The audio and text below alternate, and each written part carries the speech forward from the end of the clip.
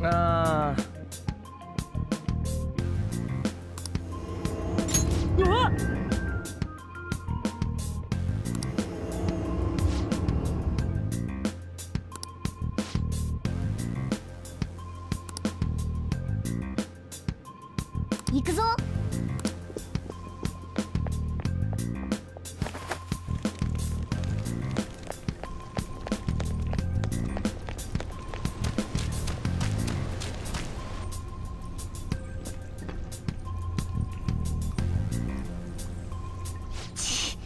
やっぱり見張りがいるか。こっから先は戦いが避けられそうもない。まマジか。仕方ない。戦闘の基礎の基礎だけここで伝えておくぞ。頭に叩き込め。原則いつでも不意打ちを狙っていく。可能な限り敵は背中から襲え。パレスの敵は主の歪みに支配されてる。その象徴が仮面。そいつを剥ぎ取るんだ成功すればどんな敵でも一瞬必ず前後不覚になる。そこを先制攻撃だ。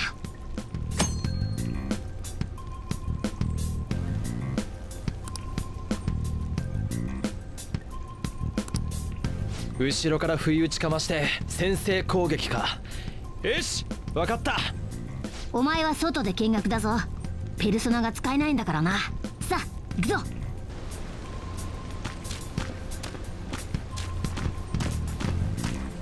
正体を見せろ。よし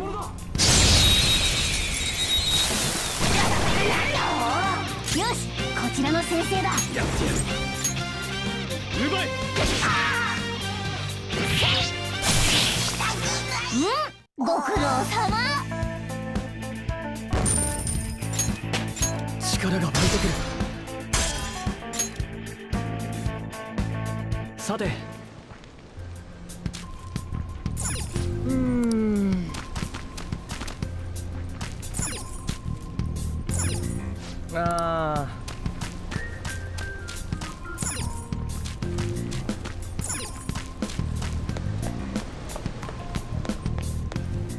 なんで誰？前はいただろ。どこ行ったんだよ。声でかいって。落ち着け。そうだ。確かあの奥にもいたはず。こりゃ移送されたのかもな。やべえぞ。足音が近づいてくる。かなりの数だ。今見つかると面倒だな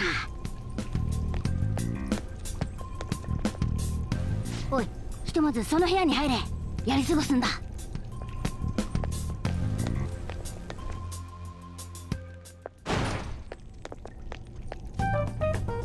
ここならシャドウも来ないだろでなんでわかんだよ。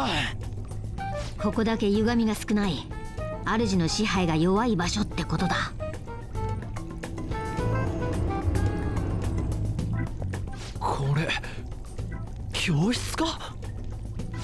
分かったろ？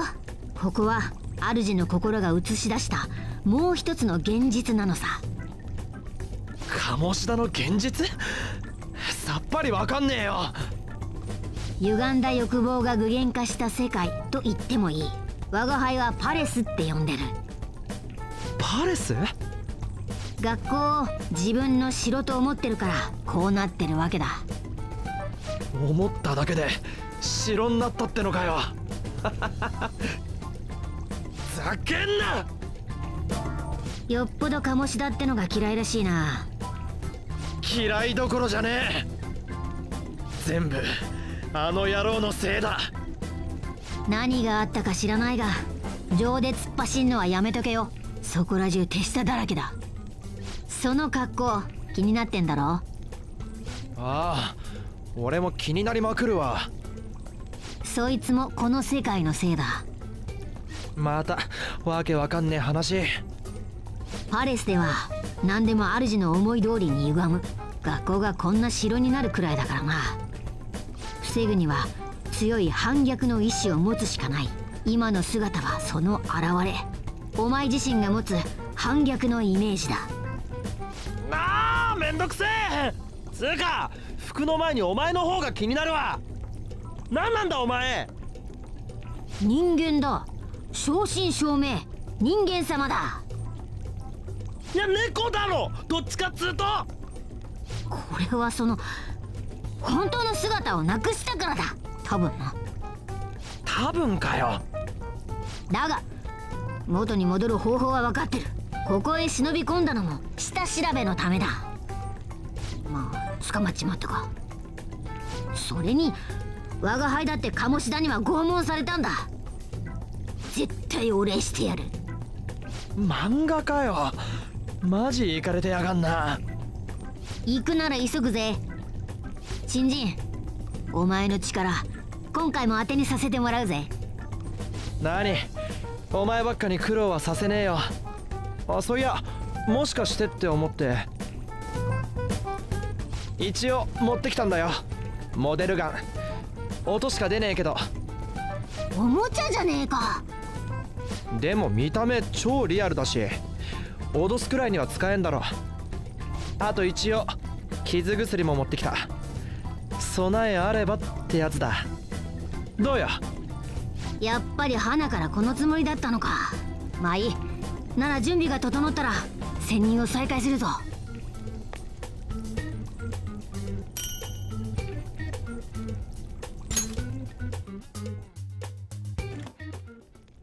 とはいえまだ外は万平が巡回しているはずだ。万平をやり過ごす間。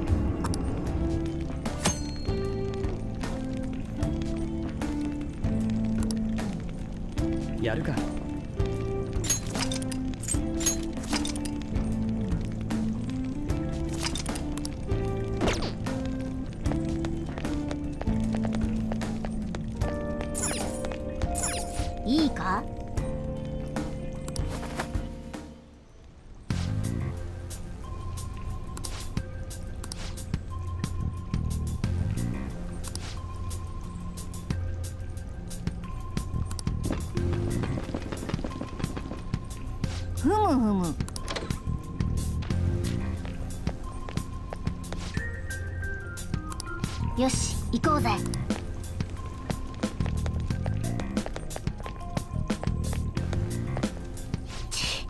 ちあいつの傍らにある柵。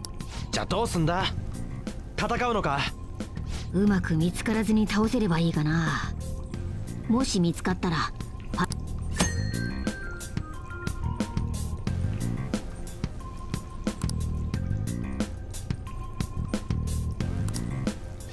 じゃあ警戒。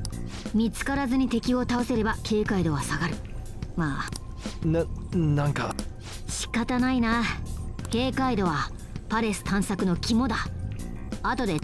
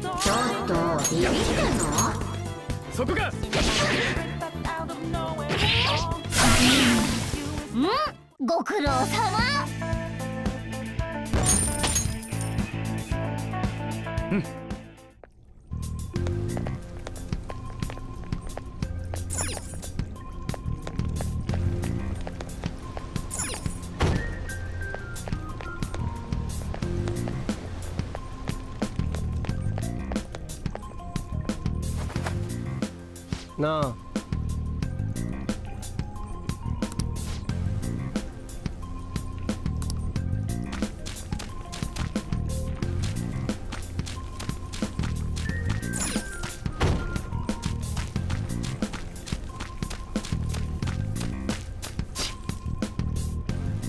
おい侵入者らしいやつはいたか？いやまだ見当たらない。敵が多いな。じゃあどうする？また倒すか？おい簡単に言うな。まだ先はあるんだぞ。スタミナは残しておきたいだろそそうか。こんな時俺も戦う力がありゃ少しは手伝えんのによ。持ってんのはおもちゃだけだもんな。情けねえぜ実際。おもちゃ？さっきの銃か？のおもちゃな。見た目それっぽいだけで弾も出ねなるほど。そうか。その手があったか。よし。そいつで奴らを倒そう。えは？聞いてたか？モデルガンだし弾だって。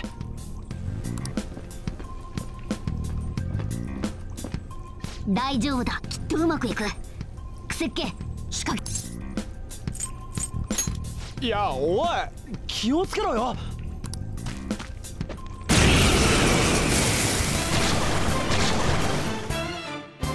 銃ちゃんと持ってるな。シャドウに向けて撃ってみろ。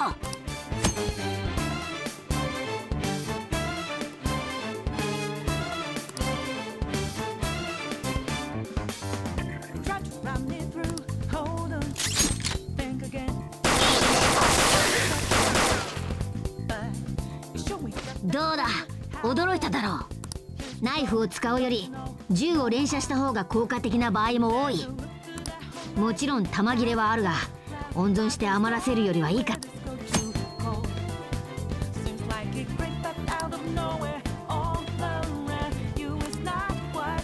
よし我が輩の武器も見せてやる。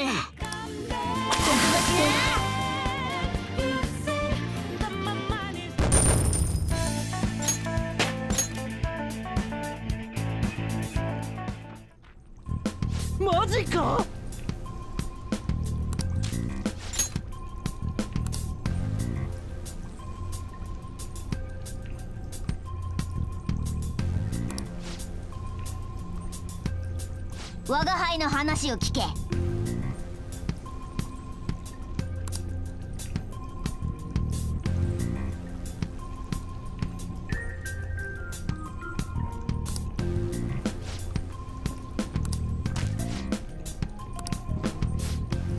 やっつけちまおう。弾数は元に戻ってるぞ。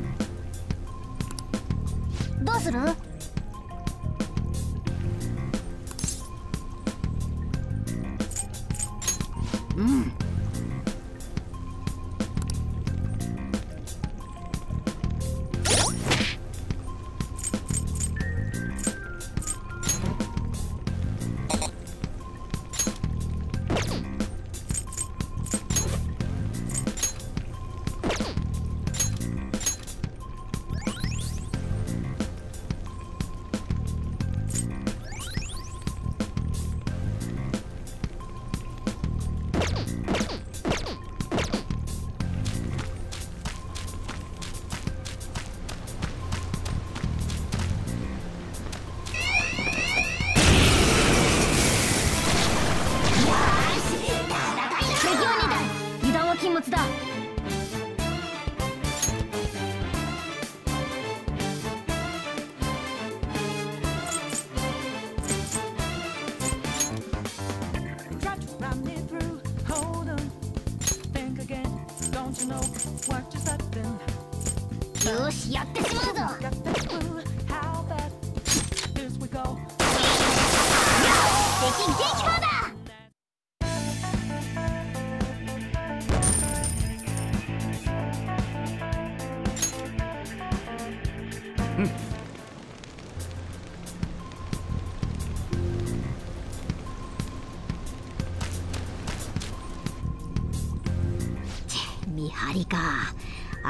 あのはずなんだが。んじゃまたぶっ倒すか？そうするしかないか。いやだがよし。これからお前らにとああそん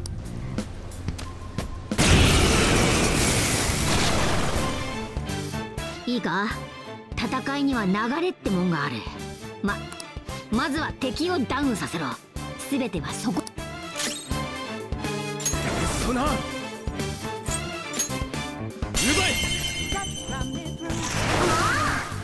Think again. よし一気に追い詰めて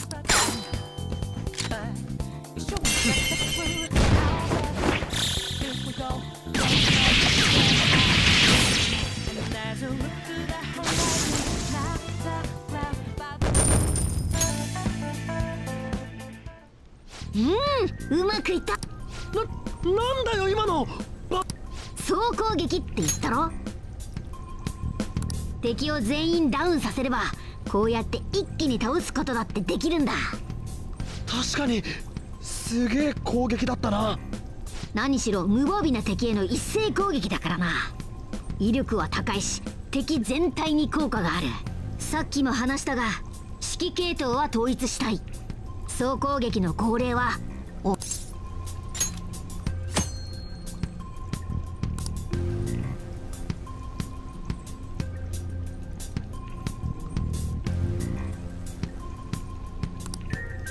敵の弱点をついて全員ダウンさせて総攻撃。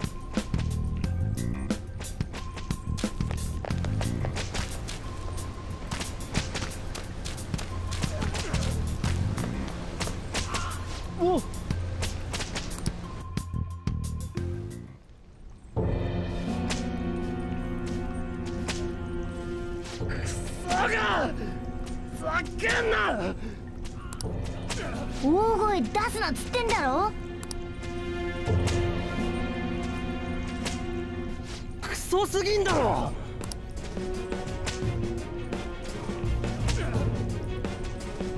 どっから開けんだ？これ。やめろ！ほっといてくれよ！逆らったって無駄なんだし！はおとなしくさえしてればお前らみたいに処刑はされないんだ！好きでそんなとこいるってのかよていうかお前まさかとは思うがこいつら連れ出そうって気か？このままにしてられっかよ。バカすぎる。あ？こいつらはな鴨志田が認知してるだけの人間だ。現実から入り込んだ本物の人間じゃない。お前らとは違うの。認知？そいつら助けても意味ねえってことだよ。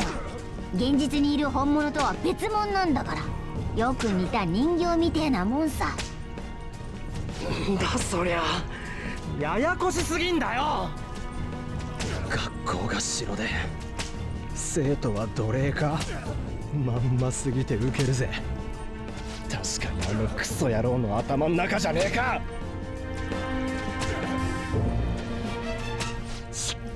ひでえな。現実でも奴隷扱いってことだろ？現実でも？こいつら。全員バレー部だ。鴨志田が顧問の。日頃から殴られてんだろうな。普通ここまでボコボコにならねえって。現実でも似たような目に遭ってんのか？そうなんじゃね？だってこれ鴨志田が奴隷だと思ってるってことだろ？マジかもしれねえわけか。鴨志田には体罰の噂があんだよ。あくまで噂だけどマジだったらこれ普通に警察だとじゃねえ。こいつら証拠にしてやる。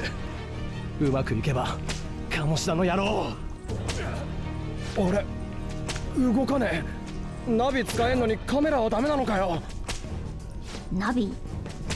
俺らナビでこっち来たんだ。お前のは？何でもいいがそろそろ見つかるぜ。戻った方がいい。ちょっとしゃあねえ。こうなったら全員の顔を覚えて帰ってやら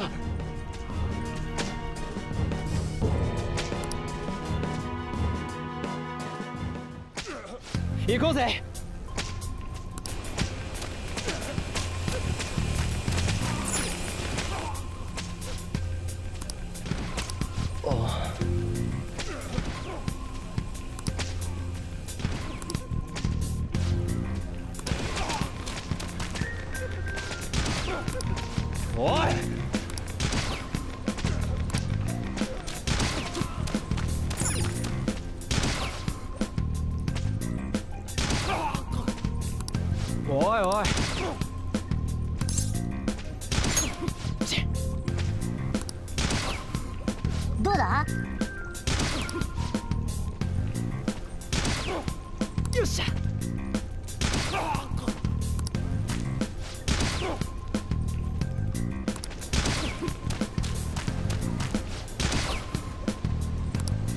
よ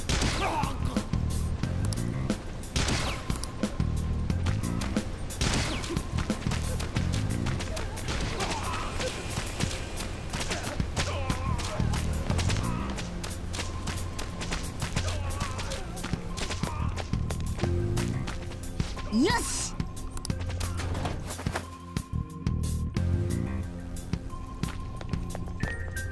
行こうぜ。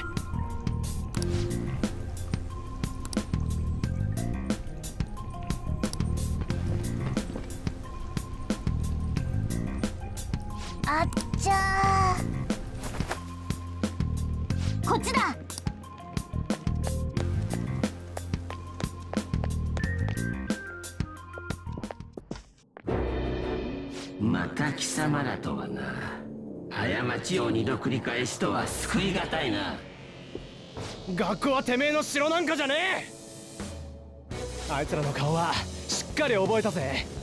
観念すんだな。負け犬ほどよく吠えるとは真理らしいな。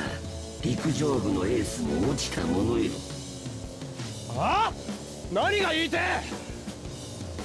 暴力騒ぎを起こして仲間の夢を潰した裏切りのエース君貴様の自分勝手の巻き添えになった連中がいやはやかわいそうで仕方ない。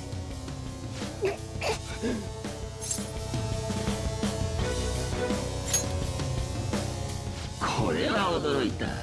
知らないまま付き合わされてるのか？仲間を裏切り夢を潰したというのに。こやつは一人のうのうと生きている。ち違う！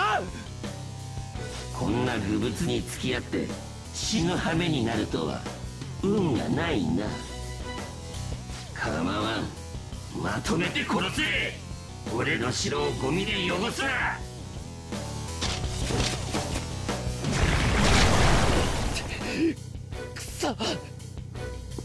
リュウジどけ。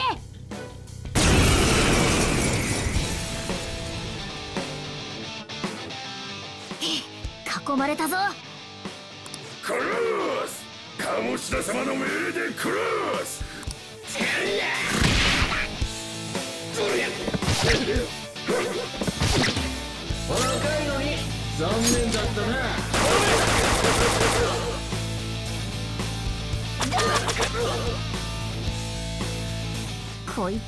やばいな。ふ深く。そんな。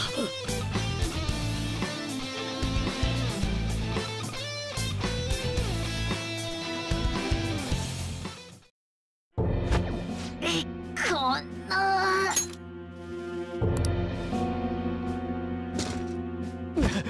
どうせ貴様の思いつきで来てこうなっちまったんだろえ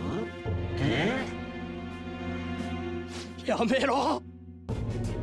すぐ感情的になるクズ。この俺様に手を挙げやがって。臨時とはいえ少しの間陸上部の練習を見てやった恩を忘れたか？あんなもん練習じゃねえ。体罰だ。単にてめえが陸上部が気に食わねえから。目障りなんだよ。実績を上げるのは俺様だけでいいクビになったあの監督も救えないバカだ。正論言って立てつかなければエースの足を潰すだけにしてやったもの。をなんだともう一本の足もやってやるか？どうせ学校が正当防衛にしてくれるしな。くそ。また俺負けんのかよこんなクソのせいで走れなくなって陸上部もなくなって。そうだったのか。こいつらを始末したら次は貴様だぞ。おい龍神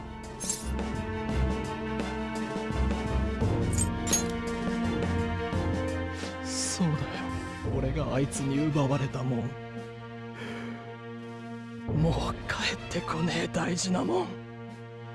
そこでおとなしく見てるがいい。クズをかばって犬死にする。救えないクズどもをな。お前の方だよ。人を利用することしか考えてねえ。お前の方こそクズだ。カモシだ何してる？黙らせろ。にやけた面でこっち見てんじゃねえよ！随分と待たせたものよ。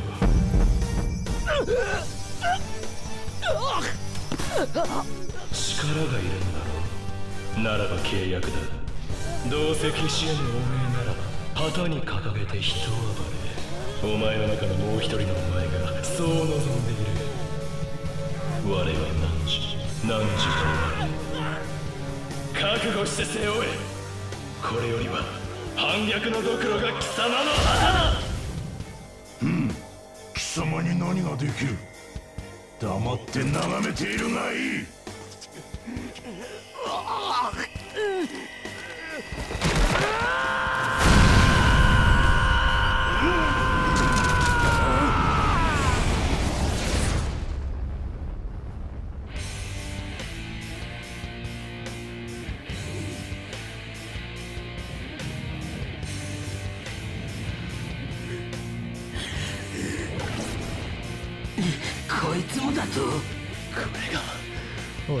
ルソナこいつはいい。この力がありゃ借りが返せる。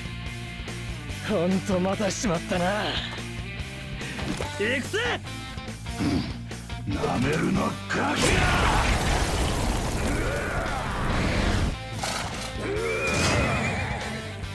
ぶっ放せよ。キャプテンキッド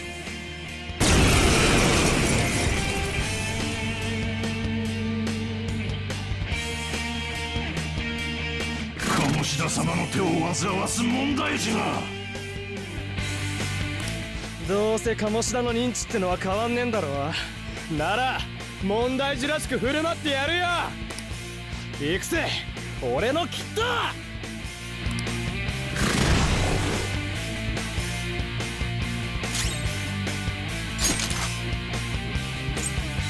が半身奪えペルソナ火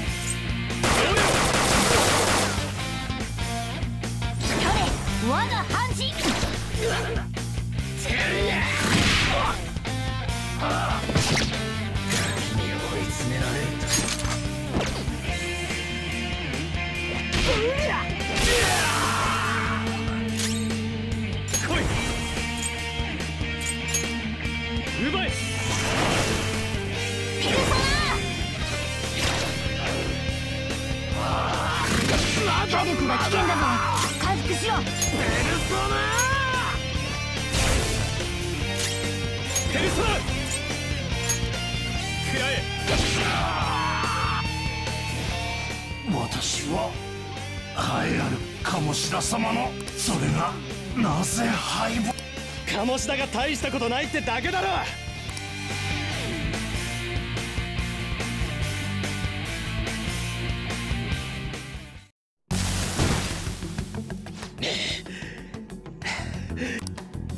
どうだ？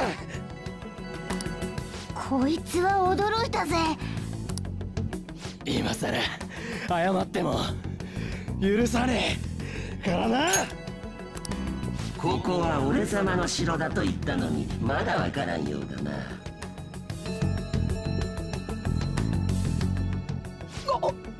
高巻？おおなんてなんて綺麗な女の子だにゃどうなってやがる？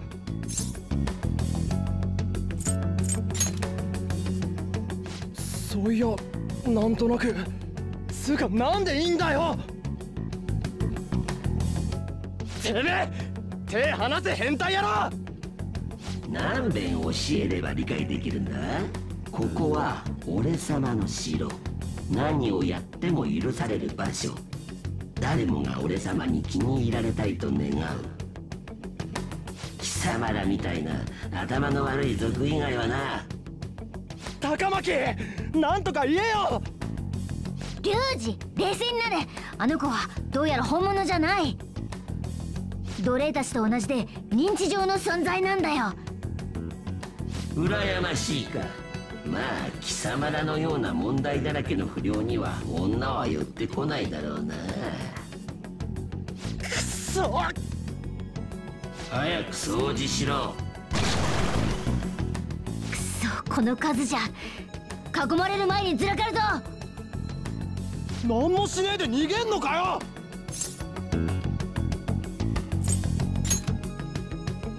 お前が冷静で助かるぜ。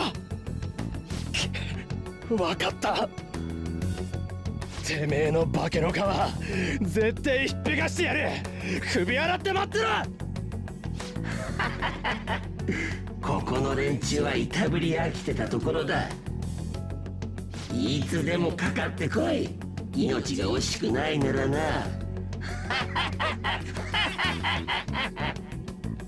相手にするな。行くぞ。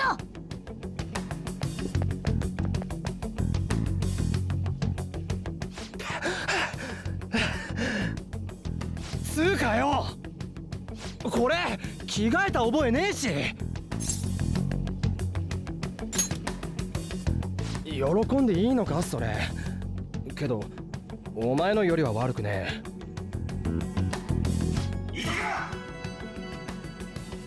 静かに。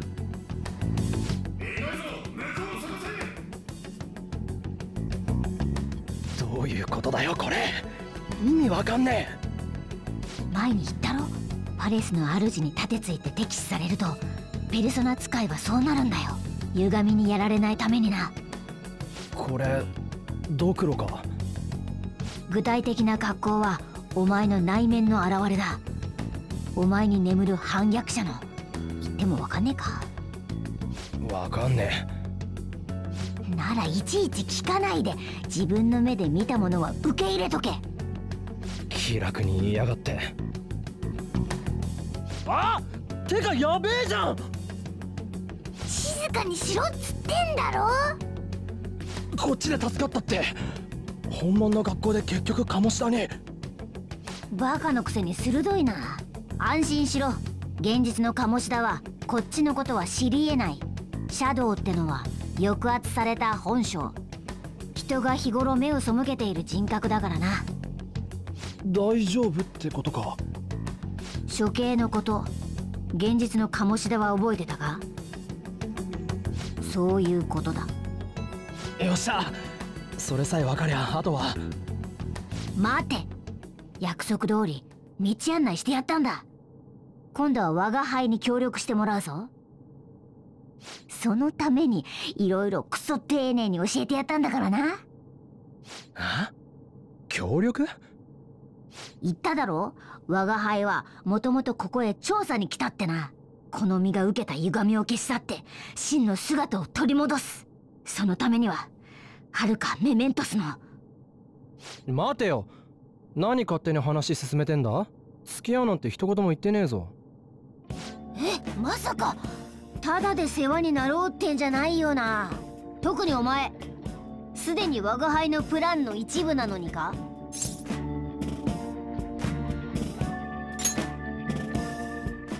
うわ抜け抜けと。我が輩が人間じゃないから猫っぽいから？バカにしてんのか？こっちは忙しいんだよ。世話になったな猫。なかなかガッツのある猫だったぜお前。またどっかでな。ちょねえわマジねえわ何いい話上にまとめてんだから！ねえわねえわうえーわホー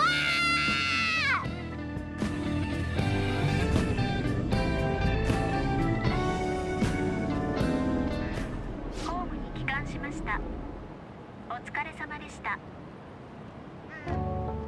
助かった。戻った。なんか振り回しちまったな。悪い。は あてかマジしんど。お前平気なわけ？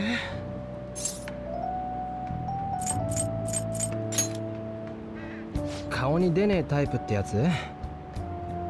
それより。マジだったら面白いことになんな。鴨志田が奴隷扱いしてる奴らの顔。俺バッチリ覚えたから。そいつら片っ端から捕まえて体罰を吐かせりゃ鴨志田もおしまいだ。体罰の証人探し。お前も手伝ってくれるだろ。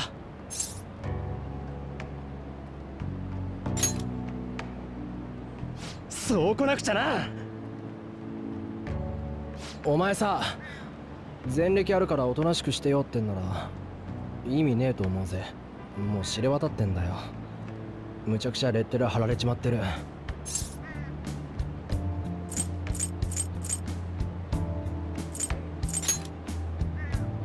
鴨志田がバラしやがったんだ。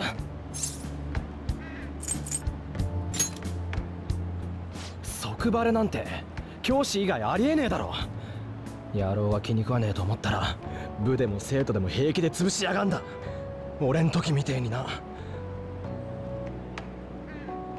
俺の言うことなんか誰もまともに取り合ってくれねえ。けど体罰の噂は本当かもしれねえ。それに実際鴨志田の歪んだ心っての見たらそれこそ放っておけないだろう。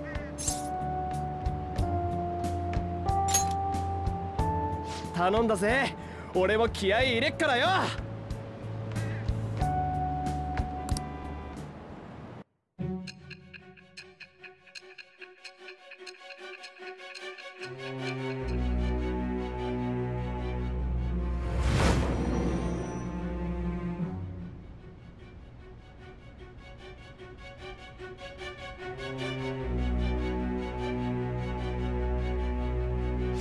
つかりたくないなら単独でやる方が効率的。そういう考え方だってできる。でも君は単独では行動しなかった。協力者がいた方が利点がある。君はそう判断した。違う？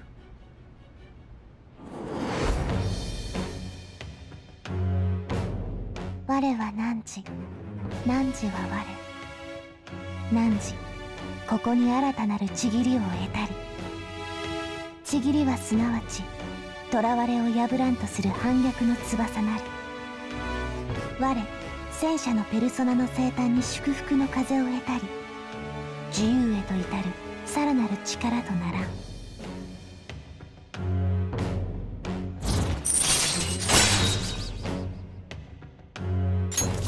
よし。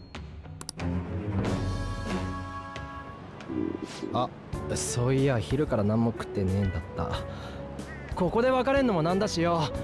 なんか食い行こうぜ。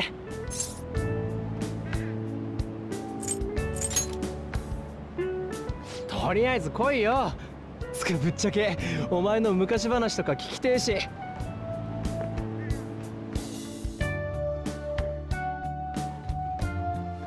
はあ？んだよそれ。そいつクソすぎんだろ。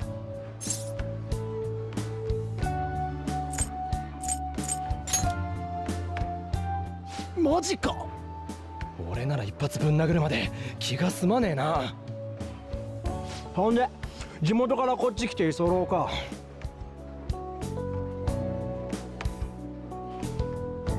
やっぱ俺ら少年が似てんのかもな。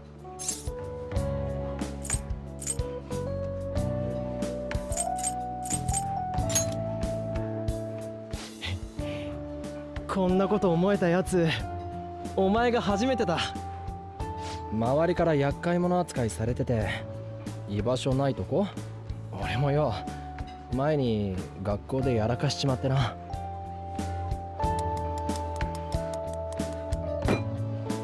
場所四茶だっけか。地下鉄この時間ラッシュだから。時間ずらしてった方がいいぜ。んだよ。全然食ってねえじゃねえか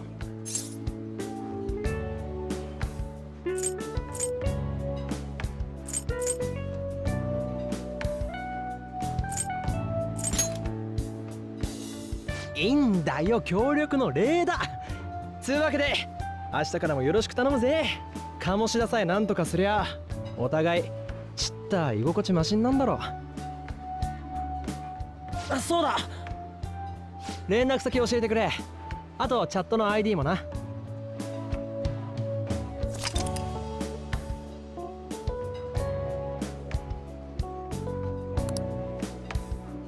見てやがれ鴨志田。明日から即始めっぞ。まず奴隷にされてた奴らに話を聞く。球技大会だったよな。鴨志田推薦のバレエ大会とか胸くそ悪いけどよ。おかげで午後は授業ねえしみんな浮かれてる。うろついても気づかれにくいはずだ。ま詳しい話は明日にしようぜ。つか食えよ。生姜ならいっぱいあっからよ。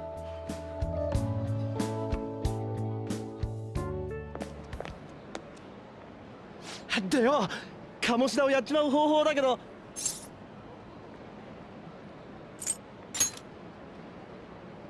あとそうだな。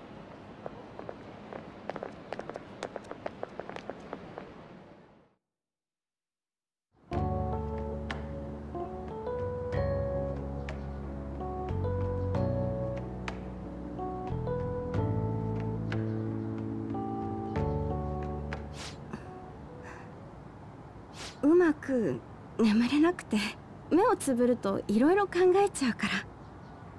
志保。全国大会もうすぐだから考えちゃうんだ。私なんかがスタメンなんて。大丈夫。自信持って。実力が認められてんだって。志保が誰よりも頑張ってるからじゃん。うん。私バレエしかできないからそれより怪我大丈夫？すごい腫れてたけど。うんこのくらい。大会前だし。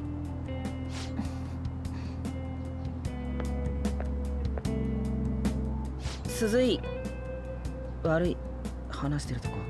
その鴨志田先生が呼んでる。え何の用？さああ私。大丈夫だって。きっとスタメンのミーティングとかじゃない？そうだね。じゃあ私行かなきゃ。うん。頑張って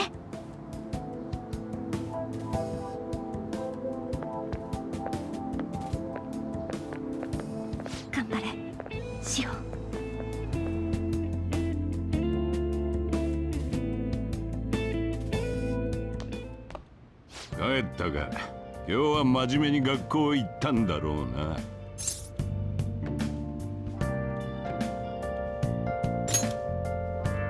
昨日の今日でさすがに懲りたか。ま面倒を起こさなきゃ何でもいいがな。どこで何してたか知らねえが。騒ぎでも起こしたら放り出すからな。くれぐれも言っとくぞ。お前自由の身だと思うなよ。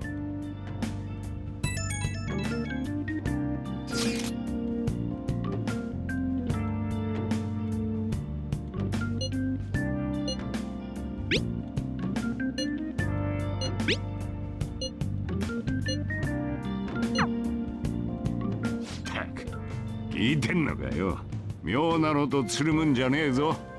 分かったな？俺もう上がる。鍵かけとくからな。夜中に出歩いたりすんなよ。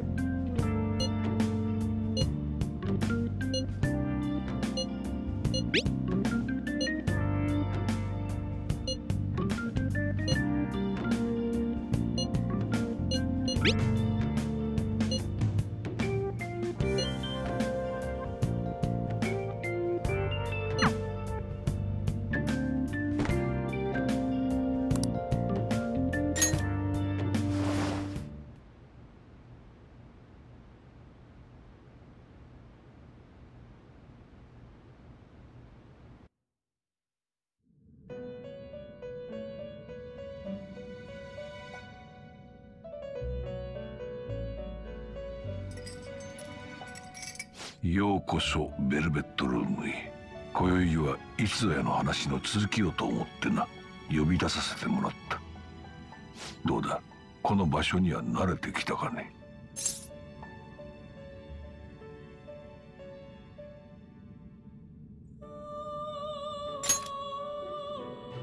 ほうそれは結構。さすがに肝が据わっていると見える。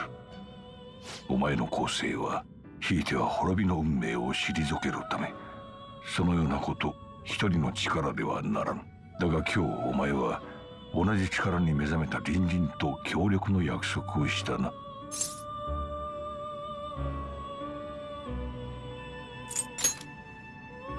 他者と関わろうとすることは公正にとって重要な足がかり。大いに結構だ。だが慣れ合って共になれと進めているのではない。生々な友情などではない。磨きや心情によってお前に力を貸さんとする者たちの王は言うなれば居場所を奪われた者どもとの絆だな。その広がりがひいてはお前自身をも育むことになろう。ペルソナは心の力あなたを取り囲む絆が強くなればそれだけペルソナも力を得るでしょう。町には非力な貴様にはない才覚を持った者が数多くいる。せいぜい知恵を絞って味方につけるがいい。我々がそれを力に変えてやる。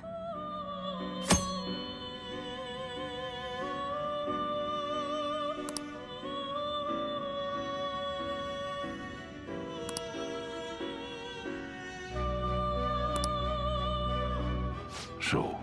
この私ですらも利用する心構えでなければお前の対岸は果たされない。はは契約成立だな。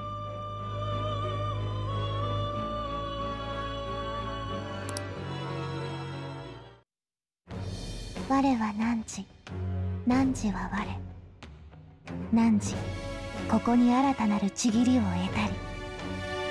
ちぎりはすなわち我。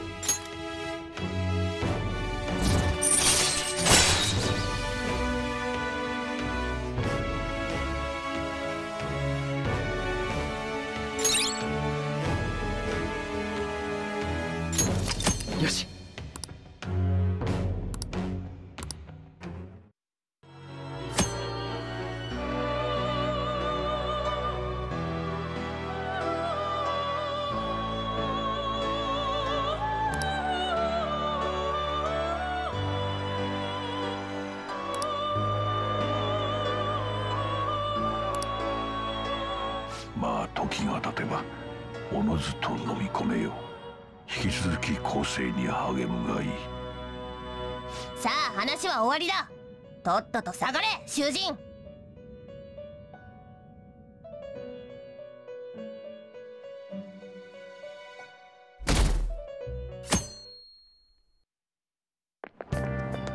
入学早々球技大会とかかったるくね。教師チームと対戦って意味わかんねえよ。鴨志田先生にかなうわけないじゃん。先生の生スパイク拝めるかもよ。記念に一発受けておこうぜ儲けが確定じゃんそれ。バレー部員とか生傷だらけなんだろ？どんな練習してんだよ？怖えよ。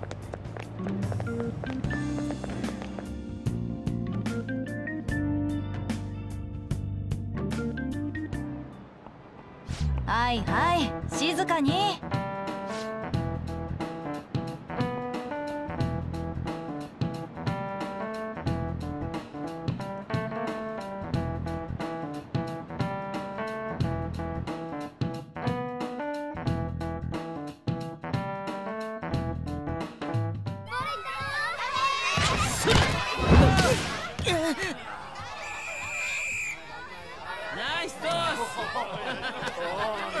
いやーさすが鴨志田先生。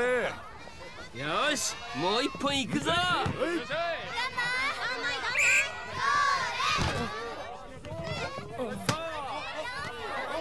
こですああナイスですそうそうそうそうそうオッケーです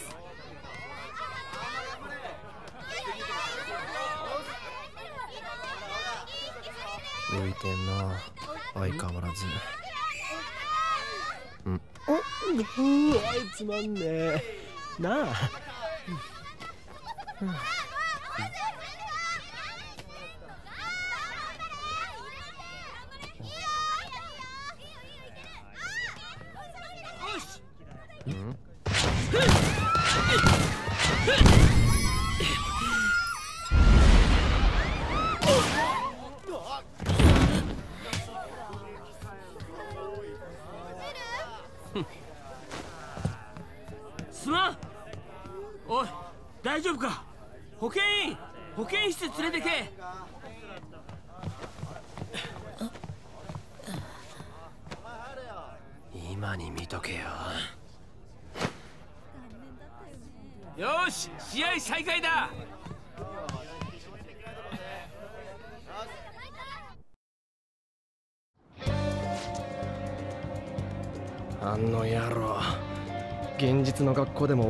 気取りってわけだ。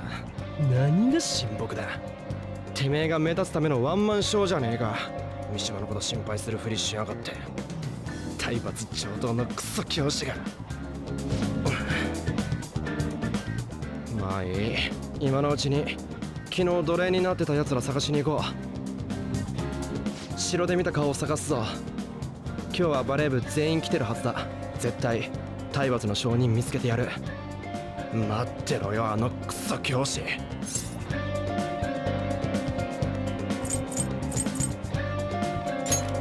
パッと思いついたの D 組のやつだから。D 組から言っとくか。お前のクラスな。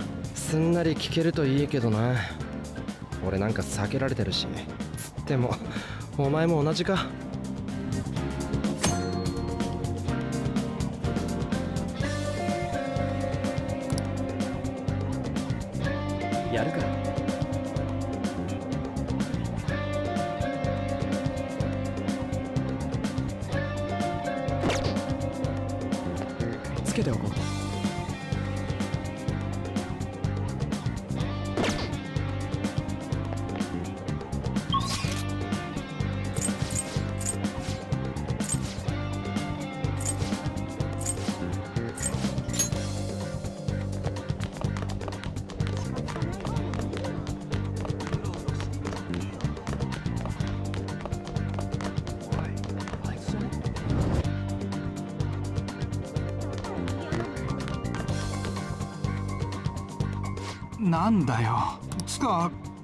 大会サボり？城にいたやつだ。坂本お前ら。部活？鴨志田のせいだ。なあしく鴨下の体罰のさ。ちげ隠すなって。知ってるって。いや。わけはつか。もうほっといもういい。あの怪我普通じゃねえだろこの調子でやってたら。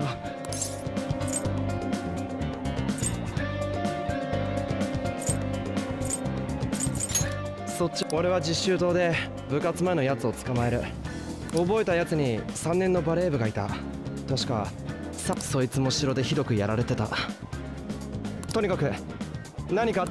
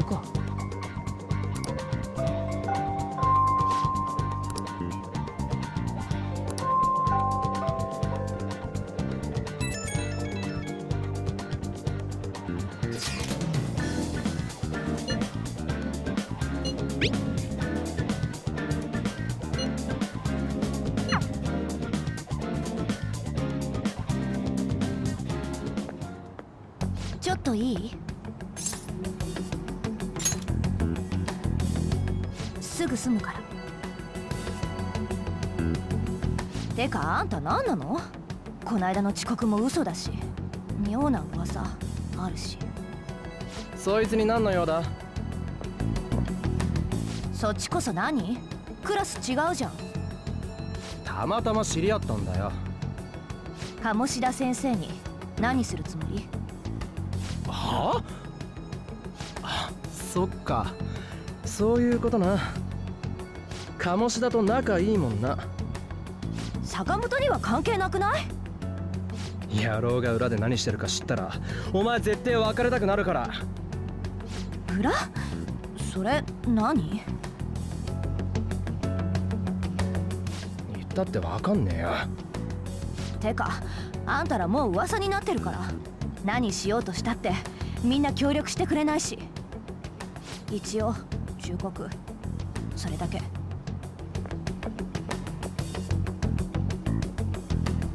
相変わらず気の強え女。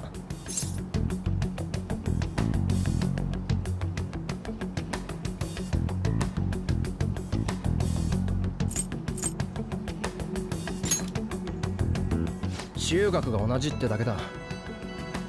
てかその話じゃねえよ。俺の方全然ダメだったわ。お前の方は？なんか誰かの名前とか出てねえか？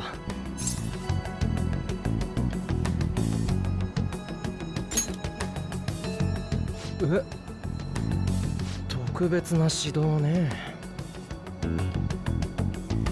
確かにあいついつもあざだらけだしな。なら帰っちまう前に話聞こうぜ。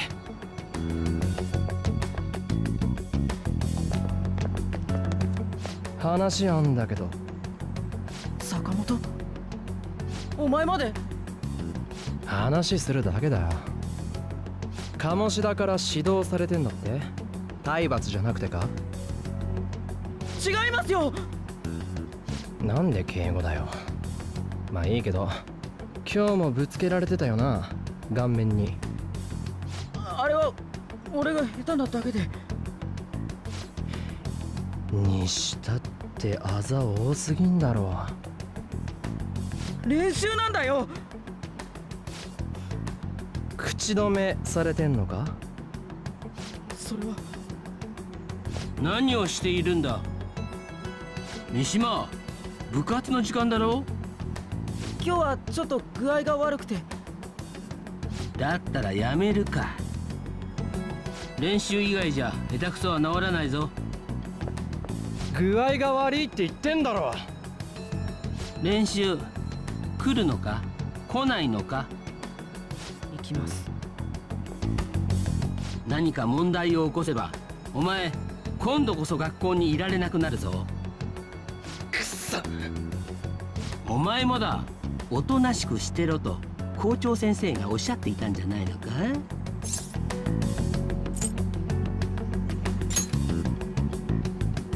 うん。練習の邪魔はしないでもらいたいんだ。良くない噂が広まってて生徒も不安がってるしなそりゃてめえのせいだろ。うん。話にならないな。行くぞ三島。囚人学園は志のある生徒が学ぶ場所。ふさわしくない生徒に居場所があると思うなよ。ぼさっとしてんな。はい。くっそ。今に見てろよ体罰の証明なんて意味ないんだよ。みんな知ってんのさ。校長も親も知ってて黙認してるんだ。嘘だろ？迷惑だ。こっちの気も知らないで。君にだってわかるだろ？く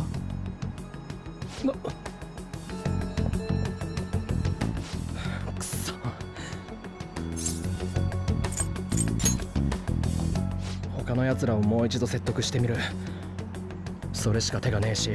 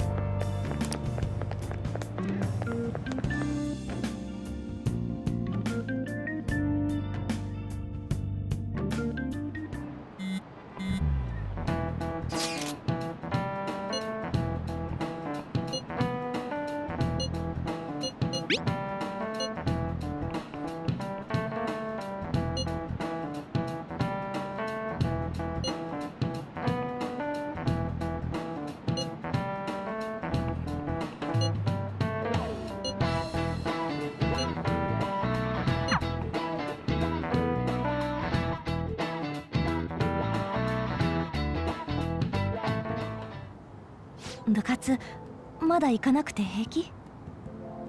うん。目の上のまた練習で？うん。無理してないの？うん。私バレしかできないから。でなくて平気？多分バイトかなんかだと思う。私そろそろ行かなきゃ。志保平気？そのうん。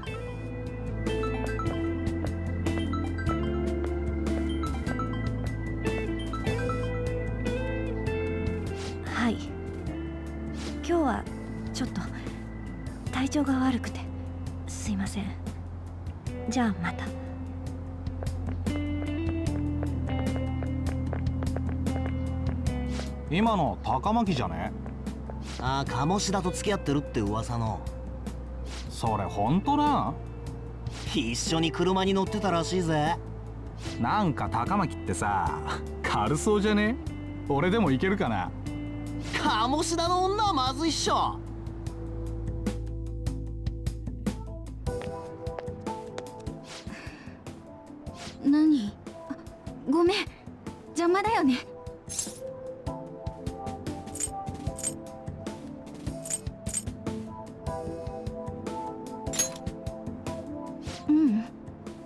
のこっちぼーっとしてたし。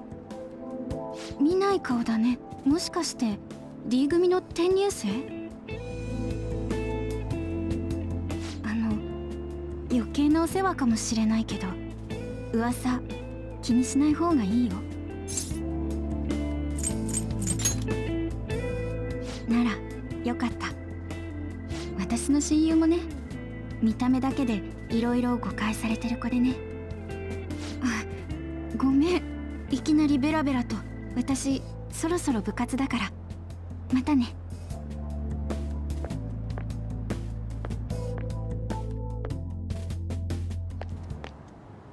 くそ。どうなってやがんだ。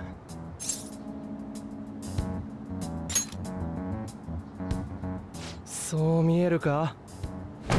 どいつもこいつも三島みてえなこと言いやがって。絶対鴨志田に何か言われてんだ。こうなりゃ野郎に直談判するしかねえかな。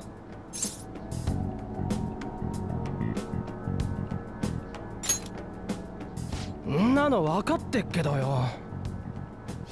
マジなんとかなんねえのか？こんなんで泣き寝入りなんてごめんだぜ。なんか思いつかねえ？バレねえようにできりゃいいけどよ。もしバレたらマジ終わりだろ。他になんかねえかよ。それ城のことまで話せってか？絶対信じてもらえねえよ。他になんかねえの？どうするよ。城主ってあっちの鴨志田か？その発想はなかったけどそれ意味あやっと見つけたぞなんか言ったか？我が輩に仕事させておいてただで逃げようなんて思うなよ。その声モルガナ？こないだは勝手に帰りやがって。猫が喋ってる！猫じゃねえ。こっちに来たらこうなったんだ。見つけんのに苦労したぜ。お前こっち来れんのかよ！まさかスマホ持ち？我が輩くらいになると自力さ。抜け道。かなり迷ったけどな。つかなんで猫で喋れんだよ。知るか。お前も聞こえてっか。マジでモルガナっつうことかよ。お前ら手こずってるみたいだな。証人が何とかって言ってたやつ。うるせえんだよ鴨志田を何とかする方法教えてやらんでもないけどね。さっきお前なかなかいい線ついてたぜ。その腹立つ上から目線モルガナだわ。今確信したわ。まだ疑ってたのかよ。バカ声がでけえよ。この忙しいのに猫探しかよ。今この辺で鳴き声しましたよね隙間とかもよく探せよ。鳴き声？まさか俺ら以外には言葉に聞こえてねえのか？そうらしいぜ。どうなってやがんだ？てかさっきの話本当だろうな。バカのくせに疑り深いやつだな。聞かせてもらうぜ。つってもここはまずいよなとりあえずカバンに入れとけ。新生死入るんじゃね？おいてめえその扱い！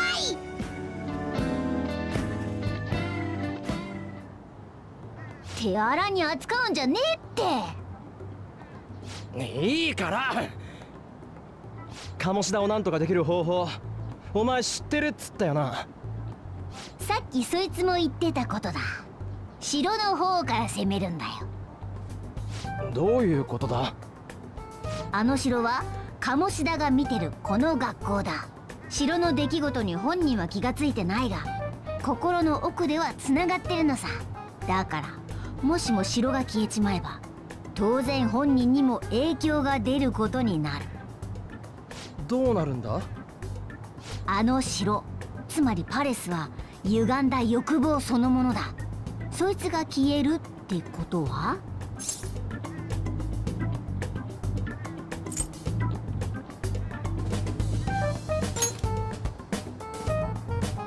その通り。己お前やはり筋がいいな。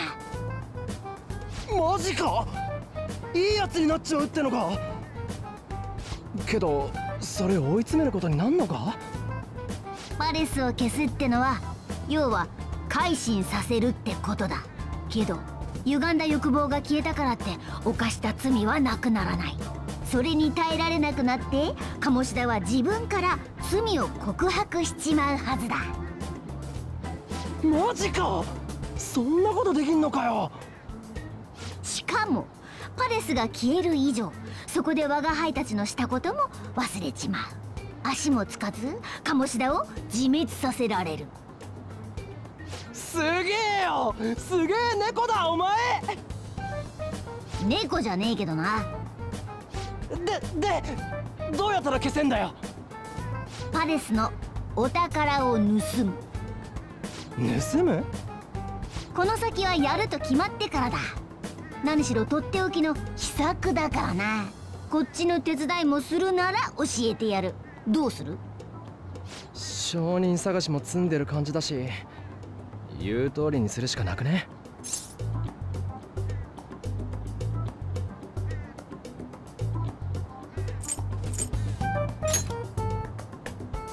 よし。あそうだこれ言っとかないとな。パレスを消せば歪んだ欲望は間違いなく消えるだろう。けど欲望そのものは生きる上で必要なもんだ。寝たい食べたい恋したいとかな。何が言いてえんだ？もしも歪んだ欲だけじゃなく欲望全部が消えたらそりゃ廃人と一緒だ保護でもされなきゃ死んじまうこともあり得る。だから。死んじまうだと？話を最後まで聞けよ。それ俺たちの仕業になんのか？それくらいの覚悟できてんだろ。おいお前どう思うよ？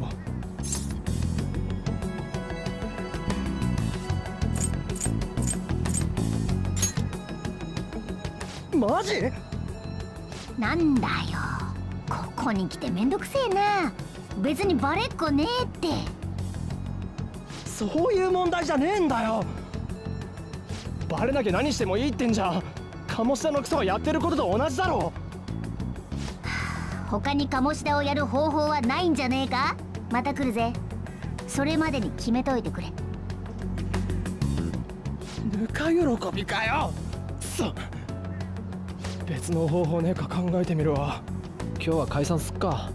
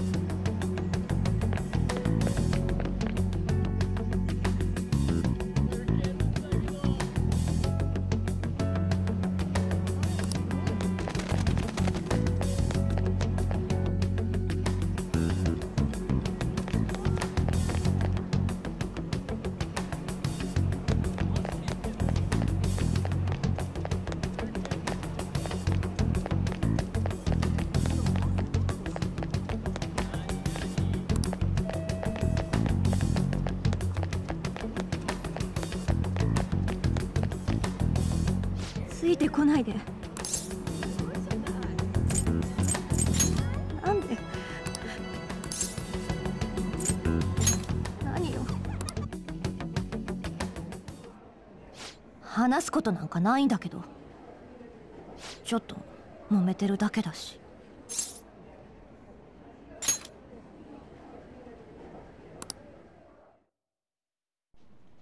ありがとうございました。噂くらい知ってるよね。鴨志田先生とのこと。私とできてるってみんな言ってる。けどあんなやつとそんなわけ。鴨志田から電話かかってきたの。番号を教えろって言われてもごまかしてきたのに。これから鴨志田の部屋に来いってさ。つまりそういうこと。断ったら私の友達志保をレギュラーから外すって志保のためだって言い聞かせてきたけどこれ以上はもう無理。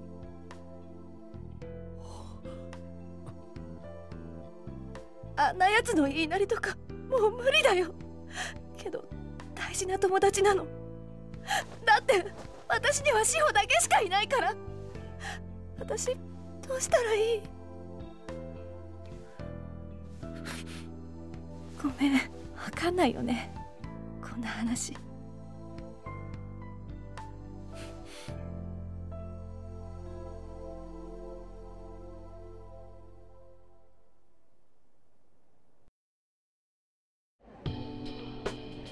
何言ってんだろう。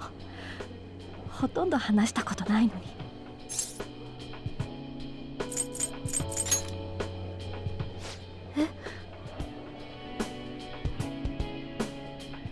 変な人だね。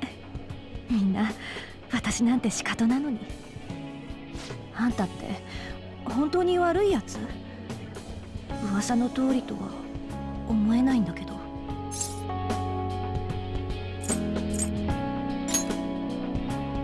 何それ？なんとなく思ってたんだ。噂大げさすぎるって。どことなく寂しそうっていうか。居場所がない感じ？っていうの？私と同じだったから。こんなこと話しちゃったのかも。私じゃ志保の力になれないのかな。あいつの気が変わってくんないかな。私の記憶とかあと気持ちとか。そういうの全部なくなっちゃえば。そんな都合のいいこと起こるわけないよね。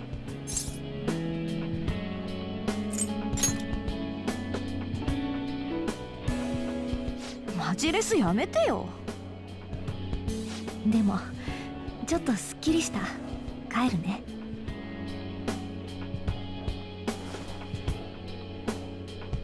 今の話誰にも言わないでよ鴨志田を説得する方法考えてみるからじゃあありがとね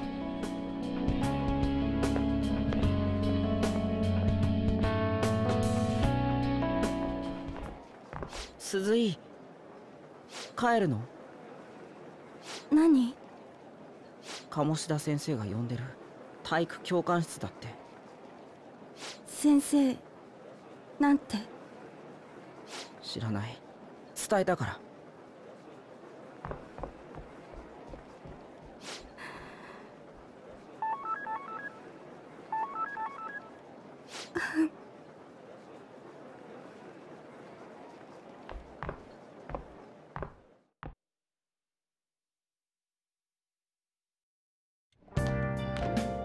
こんな時間までどこをほっつき歩いてた？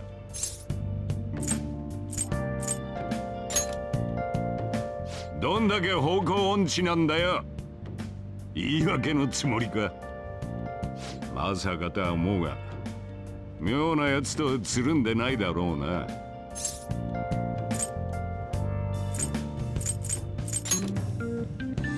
そりゃ水強なやつがいたもんだ。作るにしても相手は選べよ。人生台無しにされたくなきゃな。はあもうこんな時間かよ。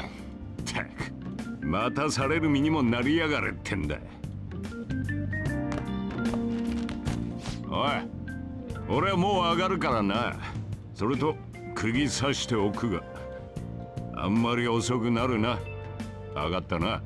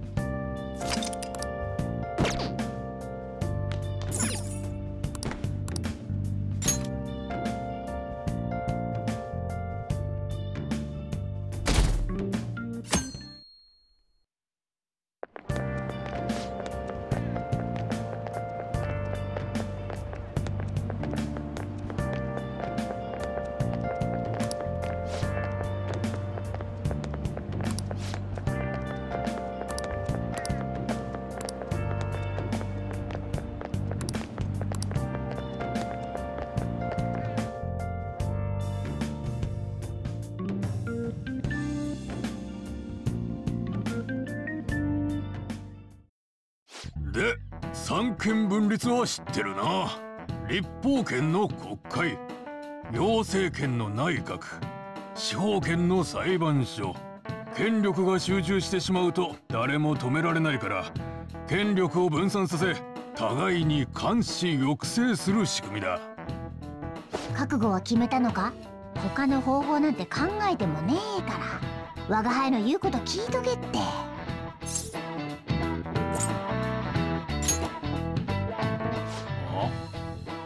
猫の鳴き声しなかったか？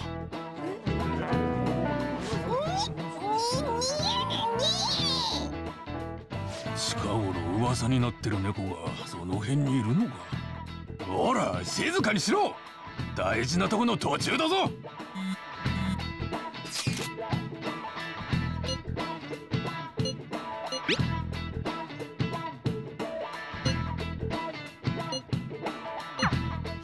本人見てんだけどな。おいあれ？こら授業中だぞ。あれ飛び降りるんじゃ？こ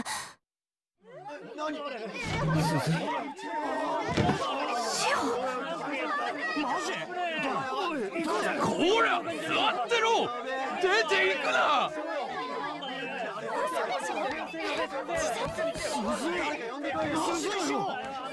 鈴井ちょっと行こうよ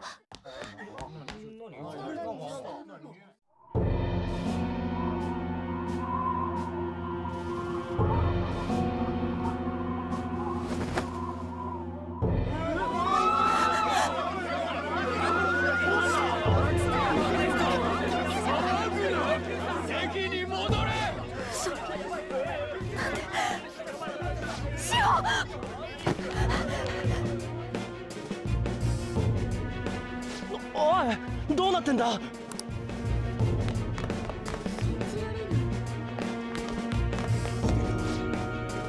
野じ馬だらけこっちはダメだ。実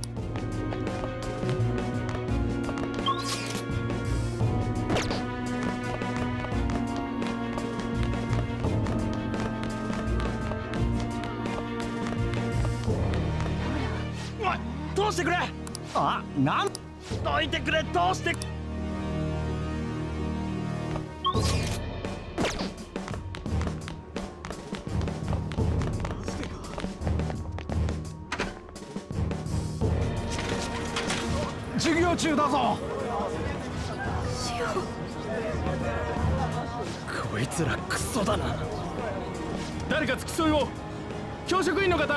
ませんか？私は担任ではありませんから。こういうのは校長が。行きます。早く。えどうして？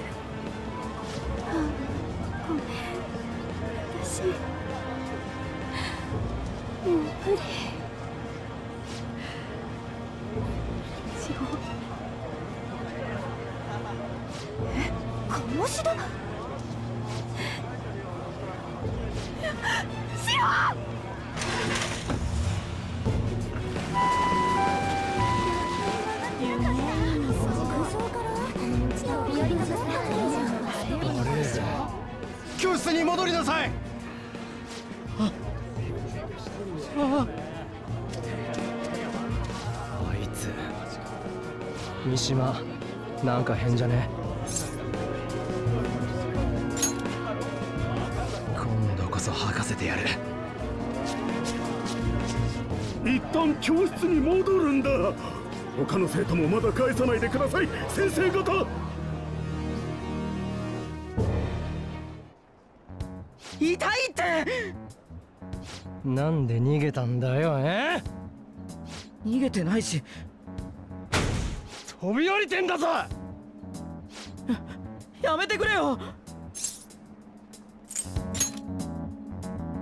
そうだよ別にお前締めようってんじゃねえ。チクったとかも言わねえから。鈴井は鈴井は鴨志田先生の呼び出し受けてた。なんだそれ。教官室に。俺何回か鴨志田先生に呼ばれてたから。俺や鈴井だけじゃない。他の部員も。先生機嫌が悪いとご指名で殴るんだ。やっぱ体罰マジだったわけか。でも鈴井昨日特にヘマしたとかじゃないのに急に呼び出されてて鴨志田先生すごくイライラしてたから。きっといつもよりひどいこと。まさか。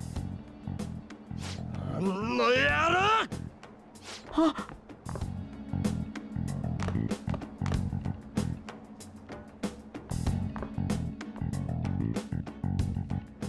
坂本。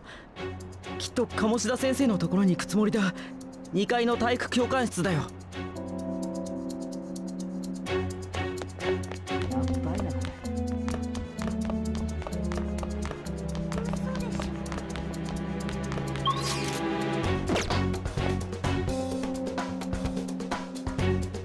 体育教官室に入っていったぞ。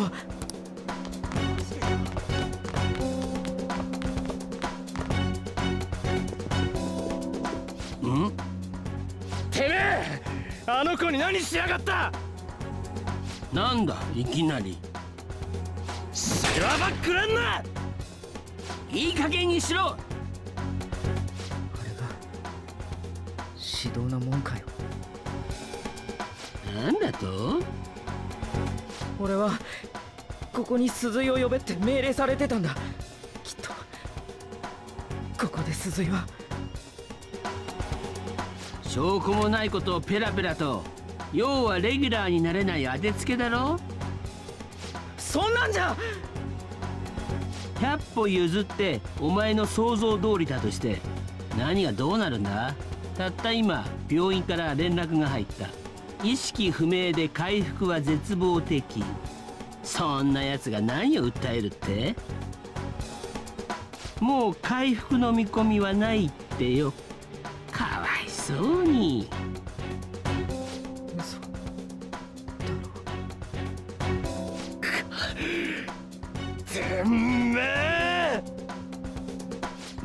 それかよ。ならもう一度正当防衛が必要だな。うっせんだよクソが！なんで止めんだよ！けどよ！ほほお前が止めるのか。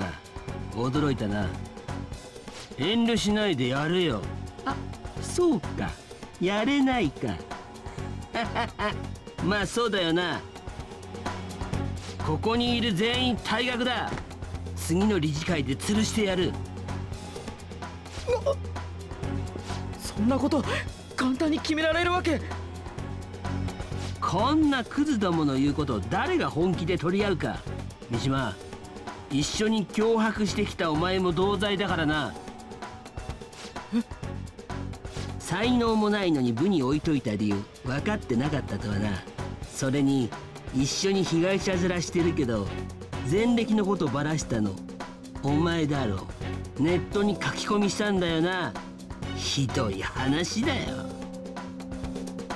三島？言われて仕方なく。さあもういいだろう。退学だ退学お前らの将来俺に奪われて終わりってわけ。分かったらとっとと出てけ。こんな奴のせいで。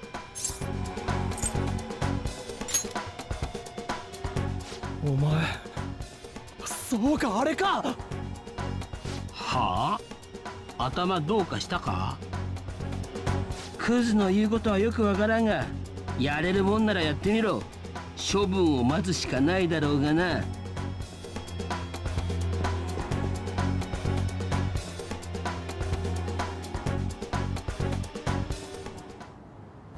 もたもたしてらんねえぞ。さっさとあの世界行ってあのクソ野郎をぶっ飛ばさねえと。ぶっ飛ばすんじゃなくて歪んだ欲望を奪うんだよ。覚悟はできたってことでいいんだよな。例の廃人になるかもってやつ俺はできた。あいつのせいで人が死にかけたんだ。もうどうなのか知ったこっちゃねお前は？ならいい。えそういやさパレスを消滅ってやっぱ大変なのか？試したことあるんだろ？いつそんなこと言った？はあ知ったかぶりかよ退学って本当噂になってる。またか鴨志田の野郎。んなこと言いに来たのかよ。鴨志田やるなら私も混ぜてよ。志保があんな風にされたのに何もできないなんて嫌だよ。お前には関係ねえ。首突っ込むな関係なくない？志保は私の。邪魔すんなって言ってんだ！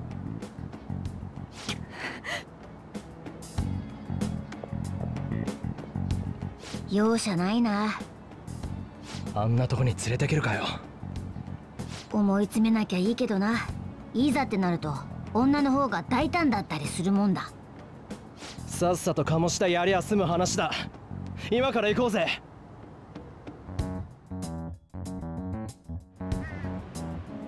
こっからは向こうに入った途端に怪盗扱いだからな。気合い入れてけよ。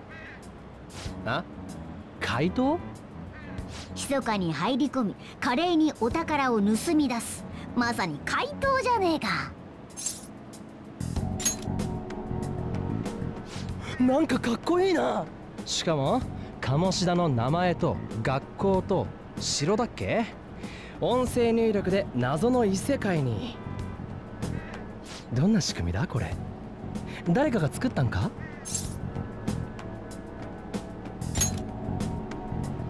少し気味悪い気もするが役に立ちそうだしいいか。鴨志田の野郎見てやがれ。行くぜ。やっぱなんかするつもりだ。スマホが関係あんの？名前と学校と？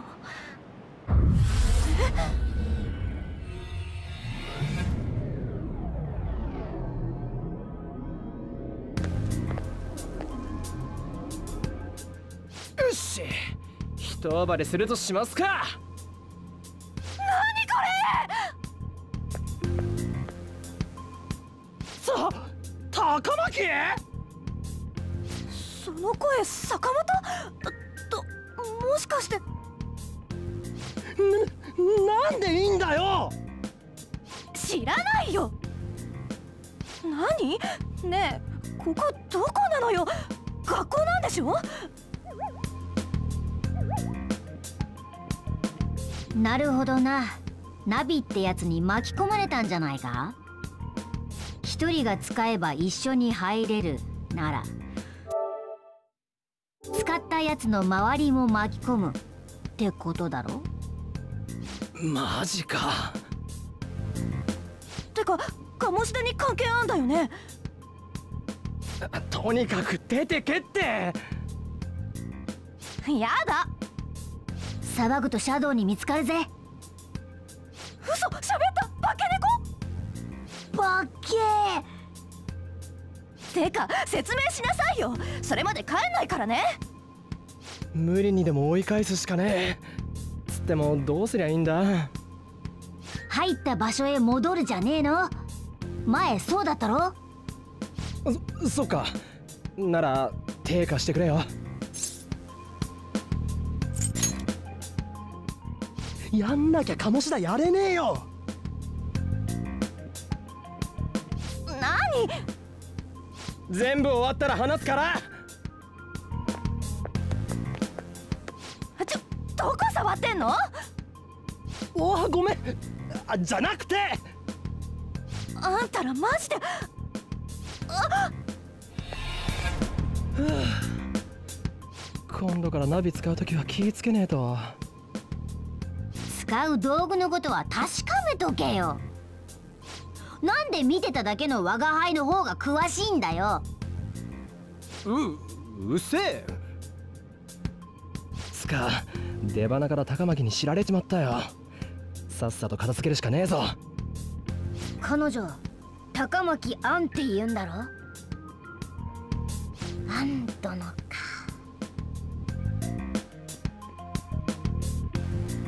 シャドウどもに気づかれてるぜ。気合い入れてけよ。頼りにしてるぜジョーカー。ジョーカー？あだ名か？ダッセい言い方するなコードネームだ。本名で呼び合う回答なんて間抜けだろ？我が輩嫌だ。それにパレスで名前を大声で呼び合ってたらどんな影響が出るかわからねえし。念のためだ。つうかなんでこいつがジョーカーなんだ？戦力的に切り札だからな。決定だな。次にリュウジお前はそうだなヤンキーだ。喧嘩売ってんのか？自分で決めるわ。うん。俺っつったらこのドクロマスクだろ。いや正直嫌いじゃねえよこれ。ドクロって英語でなんつんだ？聞くのかよ。スカルじゃないか？おいいんじゃね？俺スカルな何がいいよこいつのコードネーム。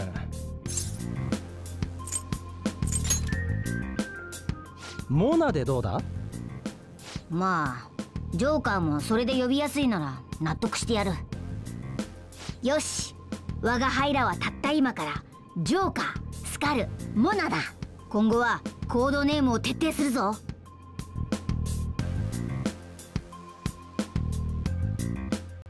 よっしゃお宝ってやつを取りに行くかダッシュで行こうぜ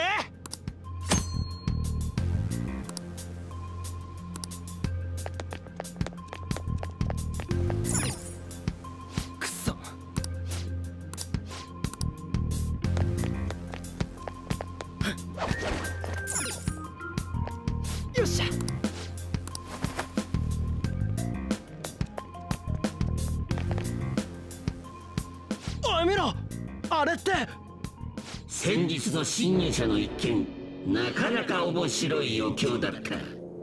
だがあんなクズどもに俺様の城を荒らされるのは我慢ならん。警備を強化しろ。見つけ次第殺せ。首を持ってきた者には褒美をくれてやろう。鴨志田様万歳！侵入者には死を！なもなあいつぶっ飛ばせばそれで終わりなんじゃねえのか？バカ。見ろ。あの兵士の数。自殺行為だ。前ので懲りただろ？それにお前らはあいつに罪を告白させたいんだろ？だったらあいつを倒しても意味はない。欲望のお宝を盗むんだ。あったよ。でお宝ってのはどこにあんだ？きっとこの城の奥だ奴がここへ出てきてる今のうちに奥へ潜入するぞ。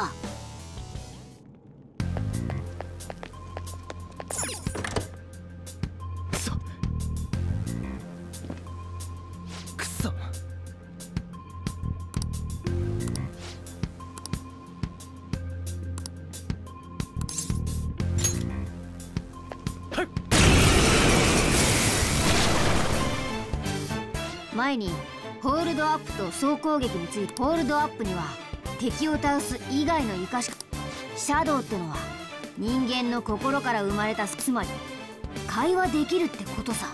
追い詰めてから話しかければ命惜しさに実際その方がただ倒すよりいいものが手に入ることが多い。さてじゃあ最初のステップだ。敵ダウン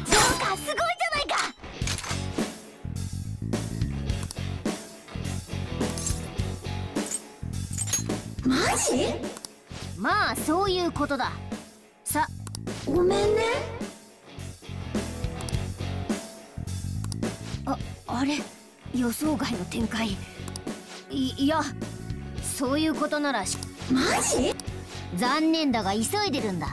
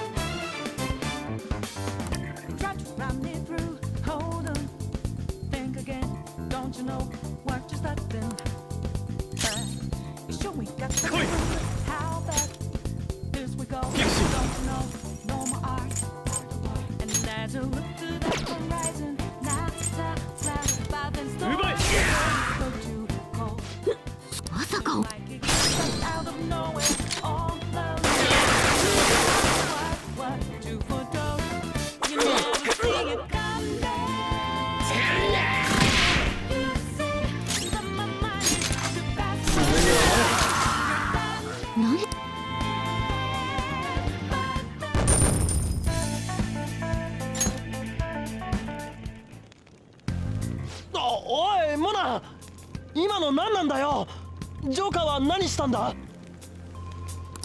敵の姿や力を仮面に封じ込めて新たな自分のペルソナにこんなゲートができるもんなのか。我が輩も見たことねえぞ。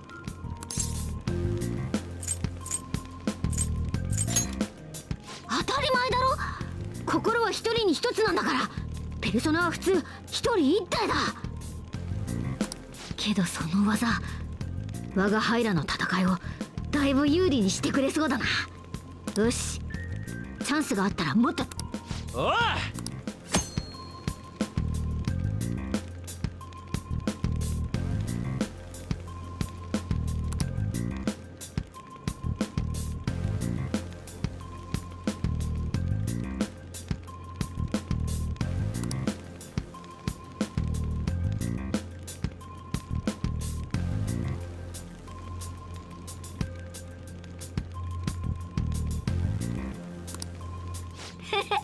ますます気に入ったぜ。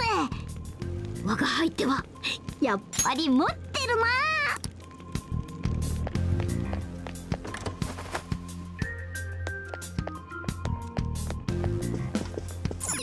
おお。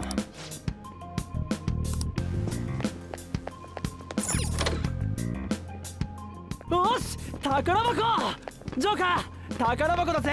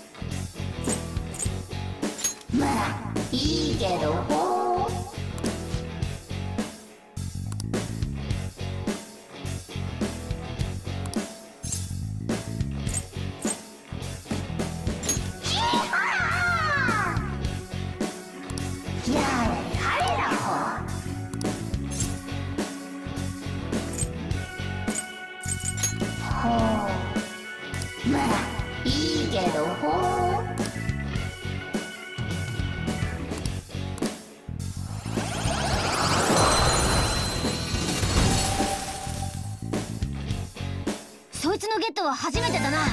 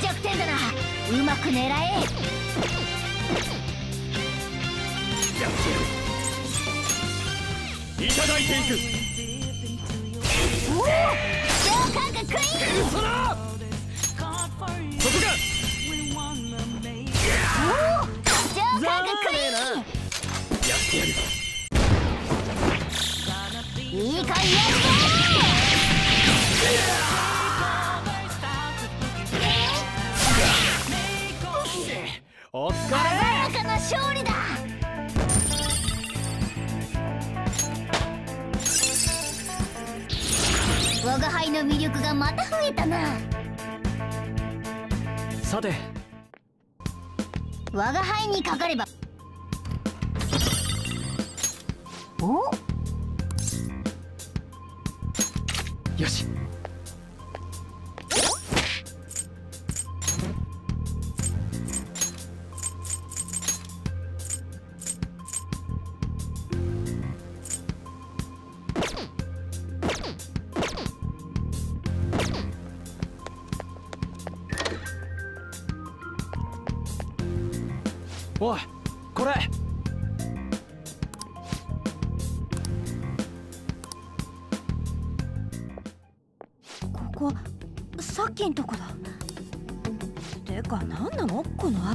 坂本の言ってた言葉言っただけでこんな。姫。ん姫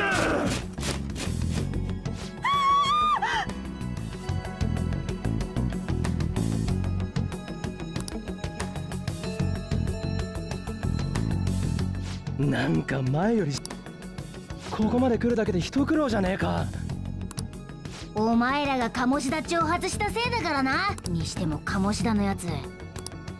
お宝盗むって何やりゃいいんだよ。慌てんな。まずは潜入ルートの確保だ。潜入？お宝のありかまでのルートだよ。けどやり遂げるには正直もうちょい戦力が欲しいな。せめてあともう一人。お前記憶ねえっつ割にはそういうことだけは覚えてんだな。こいつ本当に記憶喪失だと。あっちのバカとは違うな。バカっつうな！大げさなこと言ってただの野良猫ってオチじゃねえの？そんなはず。しかし姫はどうしてあんなところに？姫？侵入者の反応を追ってたはずなんだが。何でもいい。早く姫をかもし姫ってなんだ？調べといた方。質問から逃げやがって。城とかナビも謎だけどよ。ぶっちゃけモルガナが一番謎だよな。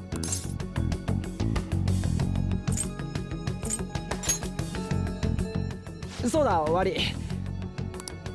俺なんだっけ？スカルだやべえぞ。早っ。アンドロがお前らの知り合いのシャドウに連れてかれてる。はあ？いやさっき追い返したろ。アンドロがナビを持ってたらありえない話じゃないぜ。まさか俺ん時みてえにくそせっかく逃がしてやったのにてめえから来たのかよ。